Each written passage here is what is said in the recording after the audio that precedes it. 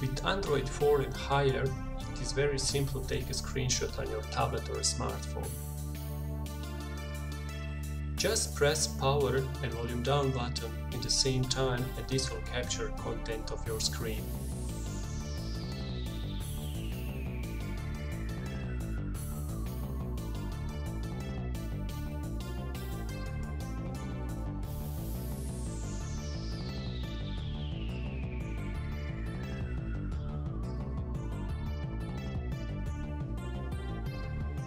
Later, you can manage these screenshots in the same way like any other picture taken by your phone or tablet.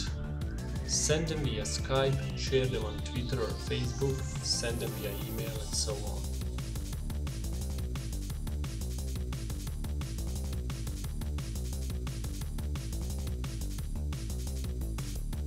You can do same thing with any application. In this case I will demonstrate capturing screenshot of a video.